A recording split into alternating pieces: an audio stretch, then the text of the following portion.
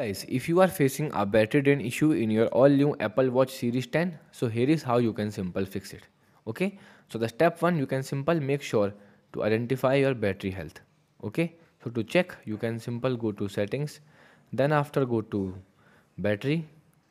In battery you can simple scroll down and click on battery health in battery health you can simple scroll down and check that your maximum capacity so if your maximum capacity is lesser than 85% so it's time to replace the battery okay because you will face a battery drain issue continuous step 2 disable always on display so to disable it you can simple go to brightness and then here you will find a always on and then tap on it and then disable it because when the always on display is selected then the display will be always on and consume more power. The next step is you can simple disable the raise to wake screen.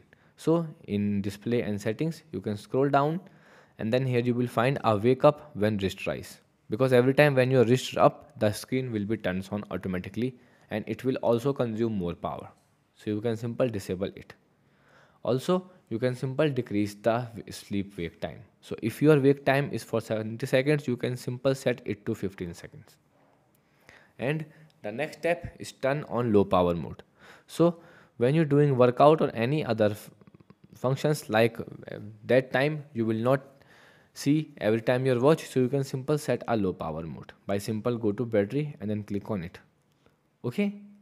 And the last option is a check for software update because in every update the apple send a new battery update that can increase your battery health and then fix the issues okay so to go to general click on software update and here you will find a all new latest update if available you can simple click on install to download them so here is how you can simple fix the issue battery drain issue in your all new apple watch series 10